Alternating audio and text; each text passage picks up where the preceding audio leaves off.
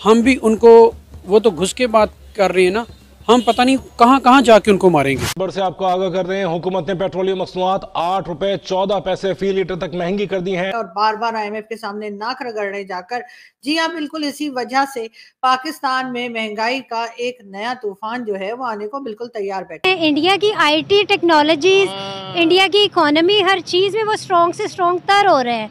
मतलब उनके उनके मुल्क को देख के लग नहीं रहा कि वहाँ इतनी आबादी है क्योंकि उनका हर फर्द काम कर रहा है और आईटी में वो सबसे आगे हैं। इंडिया सर नहीं चुकाता हम अमेरिका की हर बात मानने पर मजबूर हैं। इंडिया तो मुँह तोड़ के अमेरिका को कहता है कि भाई हम आपकी बात नहीं मानेंगे। कि वो कह रहे हैं कोई भी हमारे कंट्री में जो है हुकूमत आ जाए लेकिन हम इंडिया के गुण गाएँगे इंडिया का साथ नहीं छोड़ेंगे। अब इलेक्ट्रिसिटी बिल भी बढ़ेंगे खाने पीने की चीज़ें मेडिसिन और हर चीज़ के दाम बढ़ जाएँगे और जो पाकिस्तानी पहले ही रो रहे हैं कि वो अफोर्ड नहीं कर पा रहे हैं उनके ऊपर एक नई मुसीबत जो है गवर्नमेंट ने डालने के लिए तैयारी पकड़ ली है। इनकी जो गिदड़ भपकियाँ जो है ना बहुत पहले से चलती हुई आ रही है ये आज की बात नहीं है। बालाकोट में इन लोगों ने क्या किया? पे लोड गिरा के चले गए थे और कहते कि हमने हमने बहुत ज़्यादा कैंप्स इनके तबाह कर दिए अब वो हमें भीग देने को तैयार नहीं है। वो कहते हैं कि काम करेंगे तो कुछ मिलेगा। हाँ। अगर कोई काम नहीं होगा तो हम आपको पैसे नहीं दे सकते। नमस्कार आपका स्वागत है हमारी एक और नई रिएक्शन वीडियो में। दोस्तों पाकिस्तान के अंदर जो है टारगेटेड किलिंग हो रही है। इसको लेकर हर बार की तरह पाकिस्तानियों ने इसका इल्ज़ाम भी भारत के ऊपर लगा ही दिया है कि ये सब भारत करवा रहा है। इसके साथ में पाकिस्तानी अपना जज्बा दिखाते हुए भी दिखाई दे रहे हैं। वो ये कहते हुए दिखाई दे रहे हैं कि हम भी जो है ना हिंदुस्तान के अंदर घुसेंगे और हम उनको पता नहीं कहाँ कहाँ जाकर उनको जो है ना उनकी भी हम टारगेटेड किलिंग करेंगे। तो काफ़ी मज़ेदार वीडियो होगी। वीडियो पूरी देखना लाइक करना शेयर करना। चैनल पर नए हो तो सब्सक्राइब करके बेल आइकन को दबाना। तो चलिए वीडियो को शुरू करते हैं। इंडिया का ये साफ़ साफ़ कहना है कि वो आईटी में आगे हैं और पाकिस्तान जो है वो इंस्टीट्यूट ऑफ़ टेररिज्म है। मैं एक्चुअली आपने एक बड़ा एक, एक सेंसिटिव टॉपिक अभी आपने छेड़ा है। मैं ना इस हवाले से ना बहुत ज़्यादा ना एक ह्यूमुलेशन फील करता हूँ। पाकिस्तान के हवाले से ना एज अ पाकिस्तानी। क्यों? आप जब ये तो एक यूनिवर्सल रूल है कि जब आप किसी से नीचे लग के काम करेंगे ना मतलब ये नहीं कि अपने आप को गुलाम के तौर पे और किसी को सुपीरियर साबित करने की कोशिश करेंगे तो हमेशा वो आपका फ़ायदा उठाएगा। हमारी इस वक्त की जो गवर्नमेंट है I am not I am not like a P T I pro P T I but मैं बेसिक एज पाकिस्तानी बात कर रहा हूँ कि हमारी ये वाली जो गवर्नमेंट है ये इस वक्त कटोरा लेके या उनको ये साबित करना चाह रही है कि हम आपके हम जो है ना हम आपसे ताल्लुकात बहुत अच्छे करने जाते हैं। प्लीज़ हमारे ताल्लुकात अच्छे कर लें, हमारे साथ मार्केटें खोल लें। हम बहुत तंग हो चुके हैं, हम बहुत फंस चुके हैं। जबकि इससे ज़्यादा स्ट्रॉन्ग जो सिचुएशन थी ना, वो इमरान खान के सामने थी जब कोरोना आया हुआ था। लेकिन इमरान खान ने कश्मीर की बेस पे उसने सारी जो जो थी ट्रेड्स थी, बंद कर दी थी। और उसने कहा था कि ना कि कि मैं unless will open the the trade जब तक कि कश्मीर का जो इशू है, जब तक रिजॉल्व नहीं होगा। उसने स्टैंड लिया, उसने इस्लामोफोबिया के ऊपर स्टैंड लिया। आई एम नॉट टॉकिंग के आई एम पीटीआई पर्सन मैं पीटीआई पर्सन के तौर पे बात नहीं कर रहा, लेकिन एक पाकिस्तानी होने की हैसियत से कहीं ना कहीं प्राउड फील करते थे कि यार, हम कहीं कहीं ना कहीं कोई शख्स तो है जो हमारे लिए स्टैंड ले रहा है। इंडिया के डिफेंस मिनिस्टर ने कुछ दिन पहले एक बयान दिया था कि पाकिस्तान में घुस मारेंगे। ये सिलसिला पाकिस्तान में शुरू हो गया है। आज फिर एक अननोन गन मैन की जानब से पाकिस्तान को हिट किया गया है। आमिर सरफराज नामी एक पा, पाकिस्तानी थे जिन्हें आज मार दिया गया। क्या कहना चाहेंगे आप इस सारे मामले पर?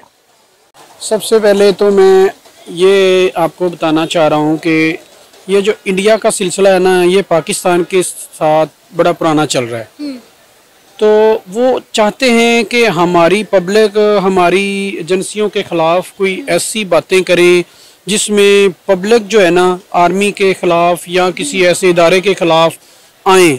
लेकिन हम तो अपने मुल्क को जानते समझते हैं कि ये सिर्फ़ और सिर्फ़ हमारी एजेंसियों के ख़िलाफ़ साजिशें हैं। अच्छा। तो अगर वो ऐसे बयान दे रहे हैं कि हम घुस के मारेंगे तो अल्हम्दुलिल्लाह हमने भी कोई चूड़ियाँ नहीं पहनी हुई। हम भी उसका जो है ना एज ए पाकिस्तानी हर मुमकिन हद तक जाएँगे। हम भी उनको वो तो घुस के बात कर रहे हैं ना हम पता नहीं कहाँ कहाँ जाके उनको मारेंगे। सर इंडिया का कहना है कि पाकिस्तान जो है टेररिज्म को दहशतगर्दी को सपोर्ट करता है। लिहाजा जितने भी दहशतगर्द इंडिया में आके दहशतगर्दी करते हैं और बाद में पाकिस्तान में जाके छुप जाते हैं हम एक एक को चुन चुन के मारेंगे। देखें हमारा मज़हब, हमारा इस्लाम जो है, हमें पहली बात तो यह कि एज इंसानियत सिखाया ही नहीं कि हम किसी को वैसे मारें। चाहे वो गैर मुस्लिम भी हैं बात करेंगे जी, पाकिस्तान की बात करेंगे फ्यूल प्राइस की। जी हाँ एक बार फिर चार रुपए जो है वो पैसे बढ़ा दिए गए हैं। फ्यूल में और अब जी 293 पर लीटर फ्यूल पाकिस्तानियों को मिल रहा है। इसके साथ साथ ये भी कहा जा रहा है कि जी आईएमएफ की वजह से, जो आईएमएफ से हम लोन पे लोन उठाते चले जा रहे हैं और बार बार आईएमएफ के सामने नाक रगड़ने जाकर, जी हाँ बिल्कुल इसी वजह से पाकिस्तान में महँगाई का एक नया तूफ़ान जो है वो आने को बिल्कुल तैयार बैठा है। सिर्फ़ ये फ्यूल प्राइस की बात नहीं है अब इलेक्ट्रिसिटी बिल भी बढ़ेंगे खाने पीने की चीज़ें मेडिसिन और हर चीज़ के दाम बढ़ जाएँगे और जो पाकिस्तानी पहले ही रो रहे हैं कि वो अफोर्ड नहीं कर पा रहे हैं। उनके ऊपर एक नई मुसीबत जो है गवर्नमेंट ने डालने के लिए तैयारी पकड़ ली है।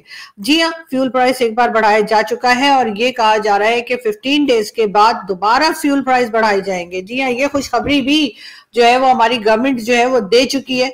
और अब देखना ये है कि आखिर जो हमारे फाइनेंस मिनिस्टर साहब, यानी मोहम्मद औरंगज़ेब साहब, जो आईएमएफ के पास गए हैं वो क्या करके आते हैं, क्या लेकर आते हैं, इसलिए कि अब इन लोगों को किसी तरीके से भी ये उम्मीद पाकिस्तानियों में कम होती जा रही है कि पाकिस्तान कभी भी अपने पाँव पे खड़ा होगा, पाकिस्तान कभी भी अपने लिए खुद रोज़गार पैदा करेगा, पाकिस्तान खुद ही जो है वो एनर्जी सेक्टर पे काम होगा फैक्ट्रीज ओपन होंगी, लोग काम करेंगे और यहाँ से खुद ही कमा के अपना घर चलाएँगे। गवर्नमेंट ऐसा होने नहीं देगी और इस्टेब्लिशमेंट ऐसा कुछ नहीं कर रही, जिसके लिए हम ये कह सकें कि पाकिस्तान में भी जो है वो ना सिर्फ़ ये कि इन्वेस्टमेंट के लिए लोग आया करेंगे, बल्कि पाकिस्तान में लोगों को रोज़गार मिलेगा, पाकिस्तान में कोई आसानी पैदा होगी, ऐसा कुछ होने नहीं जा रहा। जी हाँ बिल्कुल। इस वक्त भी अगर आप देखें तो सऊदी डेलीगेशन ज़रूर पाकिस्तान आया हुआ है और उनका कहना यही है कि जी वो फाइव बिलियन जो है फाइव बिलियन डॉलर की इन्वेस्टमेंट के लिए आए हैं। लेकिन लग यही रहा है कि फ़िलहाल वो जायजा लेने आए हैं, ऐसा कुछ होना जा नहीं रहा। साथ साथ मैं आपको ये भी बता दूँ कि जी, फैसल फरहान, जी हाँ जो कि फॉरेन मिनिस्टर है सऊदी अरब के, वो पाकिस्तान पहुँच चुके हैं। इसाक डार साहब के साथ आपने उनकी पिक्चर देखी इसाक डार साहब ने उनको रिसीव किया। और अब यही बातचीत चलेगी कि जी फाइव मिलियन डॉलर पाकिस्तान आ रहे ये नया चूरन है जो पाकिस्तानियों को खिलाया जाएगा। होप दोस्तों आपको ये वीडियो ज़रूर पसंद आई होगी, और जैसा कि इस वीडियो के अंदर आपने दो प्रकार की वीडियो क्लिप देखी है। एक जो शुरुआती वीडियो क्लिप देखी है, जहाँ पर पाकिस्तानी हर बार की तरह अपना जज्बा दिखाते हुए दिखाई दे रहे दूसरी जो पाकिस्तान की पत्रकार है डॉक्टर जो मतलब आरज़ू काजमी साहिबा वो यहाँ पर पाकिस्तान के जो हालात हैं ना, उनको बयां करते हुए दिखाई दे रही है। दोनों ही वीडियो क्लिप आपने देखी, अगर बात करें पहले वाली वीडियो क्लिप को लेकर तो हर बार की तरह पाकिस्तान के अंदर जो कुछ भी होता है तो इल्ज़ाम भारत के ऊपर वो लोग आसानी से लगा देते हैं। इससे क्या होता है कि इनके जो लोग हैं, इनके जो जिम्मेदार लोग हैं, इनके जो इदारे हैं, उनको जवाब भी नहीं देना पड़ता है, फिर जाँच भी नहीं करनी पड़ती है। सीधा सा है कि इल्ज़ाम भारत के ऊपर लगा दो और छुट्टी कर लो, क्योंकि अगर इल्ज़ाम भारत के ऊपर नहीं लगाएँगे तो फिर जो भी मामला ख़राब होते हैं या कुछ भी होता है तो उसकी जाँच भी करनी पड़ती है और जो भी गुनहगार हैं उनको सामने भी लाना पड़ता है। तो आसान सा काम होता है इनके लिए कि भारत के ऊपर इल्ज़ाम लगा दो और बस छुट्टी कर दो। तो फिर ये पाकिस्तानी जो है हर समय अपना जज्बा जो है ना वो दिखाते रहते हैं और इस वीडियो के अंदर भी आपने देखा है कि किस प्रकार से जो है ना वो अपना जज्बा दिखाई, दिखा रहे हैं। दूसरी जो वीडियो क्लिप आपने देखी है, आरज़ू काजमी साहिबा, वो यहाँ पर पाकिस्तान के हालात को बयां करती हुई दिखाई दे रही हैं कि आईएमएफ से लोन तो पाकिस्तान को ज़रूर मिल रहा है, लेकिन आईएमएफ जिस प्रकार की शर्तें पाकिस्तान के ऊपर लगा रहा है, इससे पाकिस्तान की जो गरीब आवाम है ना, उनका जीना जो है ना बड़ा मुश्किल होने वाला है पाकिस्तान के अंदर, क्योंकि अभी हाल ही में पाकिस्तान को जो आईएमएफ से पैसा मिला है और वहाँ जो आईएमएफ की शर्तें थी, अब उनको जो है ना मानना पड़ रहा है और उसी को लेकर जो है ना सरकार लगातार जो है ना डीजल पेट्रोल की कीमतें पाकिस्तान के अंदर बढ़ा दी गई हैं। आने वाले समय के अंदर बिजली की कीमतें वो भी बढ़ाई जाएगी। इसके अलावा भी अन्य कई प्रकार के टैक्स हैं जो यहाँ पर सरकार बढ़ाने वाली है, जिसका सीधा बोझ जो है ना वो गरीब आवाम के ऊपर आएगा और उनके जो हालात हैं ना वो काफ़ी ज़्यादा ख़राब यहाँ पर होने वाले हैं। बाकी आपने वीडियो देखी है, अगर आपको कुछ कहना है तो कमेंट करके ज़रूर बताना। हम मिलेंगे अगली नई वीडियो में, तब तक के लिए आप सभी का बहुत बहुत धन्यवाद।